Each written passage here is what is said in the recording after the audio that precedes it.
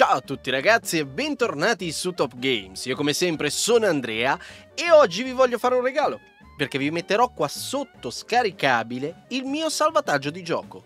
Esattamente quello che vedete nei video, quindi ci sarà il mio personaggio principale, ci sarà i secondari, ci sarà anche Zoro che è un personaggio che ha tutto ed è una terza run, c'è anche un altro personaggio completo che si chiama Elden Lord.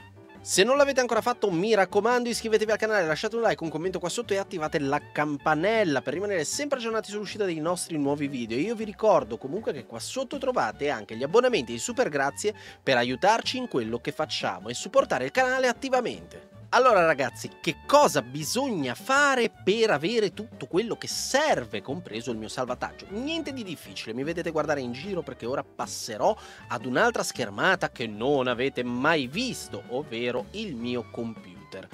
Allora ragazzi, siamo nella mia schermata di internet, bisognerà andare sul sito che vi metto qua sotto in descrizione che è omonimo del nostro canale, che è Top Games, se non lo sapevate abbiamo anche un blog online.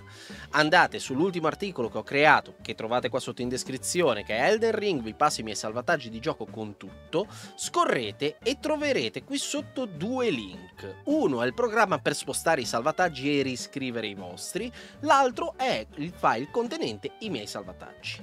Sul primo, quando cliccherete, vi dirà che il programma non viene scaricato, spesso potrebbe essere pericoloso. Ragazzi, è un mio salvataggio, ok? Quindi è normale che succeda, è sul mio sito internet, non vi preoccupate, fate conserva e avrete il programma.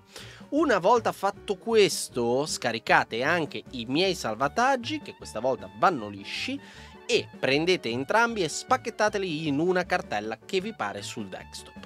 Allora, a questo punto non c'è niente di difficile. Avete i due file, uno è il programma, l'altro è il salvataggio, quindi avviate il programma. Nella prima voce andate a mettere il file che vi ho consegnato, quello che avete downloadato e scompattato. Dopodiché andate in Destination Files che è il vostro salvataggio. Il vostro salvataggio si trova nei meandri del vostro PC. Dovrete andare su questo computer, C, utenti, Andrea nel mio caso perché è il mio computer, il vostro avrà un altro nome. A questo punto fate molto semplicemente, se avete la cartella nascosta, come è il mio caso, uno slash verso sinistra, appdata, e spremete invio e avrete l'accesso alla cartella appdata, roaming, e a questo punto entrate in Elden Ring. Qui troverete l'altro file, il vostro salvataggio. Quindi, una volta che sarà caricato e avviato, troverete a sinistra tutti i personaggi che vi ho passato io e a destra i vostri.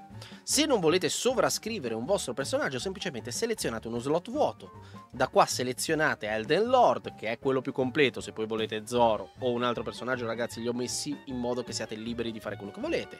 Fate copy, a questo punto avviate il gioco, il gioco vi chiederà a questo punto di scegliere tra il vostro salvataggio in cloud e quello che avete sul computer. Dovete scegliere quello sul computer perché è quello aggiornato in questo sistema, con questo sistema. Quindi non mi resta che augurarvi buon divertimento ragazzi, la cosa è molto semplice, evitate comunque di passarvi oggetti tra un personaggio e l'altro, se volete fare test, prove, potete giocarci anche online, sfruttate questi personaggi qui, non ci sono problemi alcuni, l'unica cosa magari fate un salto alla tavola rotonda e cambiate il nome al personaggio, perché sennò giochiamo tutti con lo stesso nome e diventa un gran casino.